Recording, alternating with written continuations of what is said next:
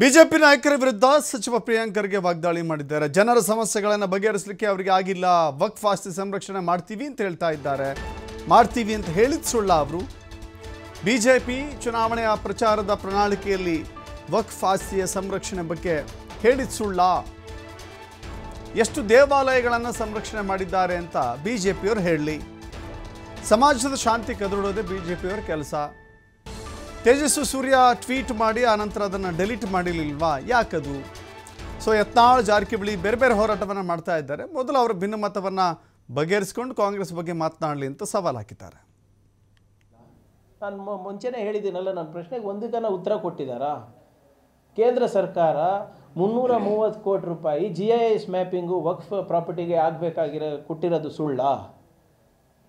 G I S mapping ಮಾಡಿಬಿಟ್ಟು ನಾವು ವಕ್ಫ್ ಆಸ್ತಿಗಳನ್ನು ಉಳಿಸ್ತೀವಿ ಅಂತ ಹೇಳಿರೋದು ಸುಳ್ಳ. ಬಿ ಜೆ ಪಿಯವರು ತನ್ನ ತಮ್ಮ ಪ್ರಣಾಳಿಕೆಯಲ್ಲಿ ವಕ್ಫ್ ಆಸ್ತಿಯನ್ನು ಸಂರಕ್ಷಣೆ ನಾವು ಮಾಡ್ತೀವಿ, ನಾವು ಎದುರು ನಿಂತು ನಿಮಗೆ ಸ ಅದೆಲ್ಲ ವಾಪಸ್ ಮಾ ಇಸ್ಕೊಡ್ತೀವಿ ಅಂತ ಹೇಳಿದ್ದು ಸುಳ್ಳ. ಫಸ್ಟ್ ಅವ್ರ ಪ್ರಶ್ನೆಗಳಿಗೆ ಉತ್ತರ ಕೊಡಲಿ. ಅವ್ರ ಕಾಲದಲ್ಲಿ ಸ್ಟೇಟ್ ವಕ್ಫಿಗೆ ಏನು ಇವರು ಬೀಗ ಹಾಕಿದ್ರಾ? ಇವ್ರ ಕಾಲದಲ್ಲಿ ಎಷ್ಟು ದೇವಾಲಯಗಳನ್ನು ಸಂರಕ್ಷಣೆ ಮಾಡಿದ್ದಾರೆ ಹೇಳಿ ನಾನು ಅಂಕಿಅಂಶಗಳು ಕೊಡ್ತೀನಿ ಬೇಕಿದ್ರೆ ನಮ್ಮ ಜಿಲ್ಲೆದು. ಇವರಿಗೆ ಪ್ರಶ್ನೆ ಕೊಡೋಕ್ಕೆ ಇವರಿಗೆ ಏನು ಪ್ರಶ್ನೆ ಕೇಳ್ತೀವಿ, ಅದು ಬಿಟ್ಟಿನೆಲ್ಲ ಉತ್ತರ ಕೊಡ್ತಾರೆ ಇವರು. ಸ್ಪೆಸಿಫಿಕ್ ಆಗಿ ನಾವು ಪ್ರಶ್ನೆಗಳು ಕೇಳಿರೋದು. ವಕ್ಫ್ ಬಗ್ಗೆ ಮಾತಾಡ್ತೀರಾ? ರೆಡಿ ಇದ್ದೀವಿ ನಾವು ವಕ್ಫ್ ಬಗ್ಗೆನೇ ಕೇಳಿರೋದಲ್ಲ. ಶೋಭಾ ಕರಂದ್ಲಾಜೆ ಅವರ ಏನು ಪ್ರಶ್ನೆಗೆ ಉತ್ತರ ಕೊಟ್ಟಿದ್ದಾರೆ ಕೇಂದ್ರ ಸರ್ಕಾರ, ಅದ್ರ ಬಗ್ಗೆನೇ ಪ್ರಸ್ತಾಪ ಮಾಡ್ತಾ ಇರೋದಲ್ವಾ?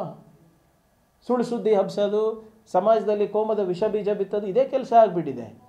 ಈಗ ತೇಜಸ್ವಿ ಸೂರ್ಯ ಟ್ವೀಟನ್ನು ಡಿಲೀಟ್ ಮಾಡಿಲ್ವಾ? ಯಾಕೆ ಡಿಲೀಟ್ ಮಾಡಿದ್ರು? ಯಾಕಂದರೆ ಅದು ಅದರಲ್ಲಿ ಯಾವುದೇ ರೀತಿಯಾದಂಥ ಸತ್ಯಾಂಶ ಇರಲಿಲ್ಲ.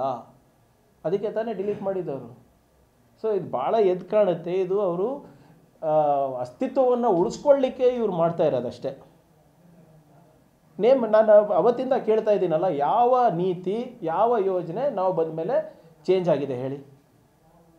ಯಾವುದೂ ಆಗಿಲ್ಲ ಈ ವಕ್ಫ ಪ್ರಕರಣ ಸಂಬಂಧಪಟ್ಟಂತೆ. ಯಾವುದೂ ಆಗಿಲ್ಲ. Not a policy change not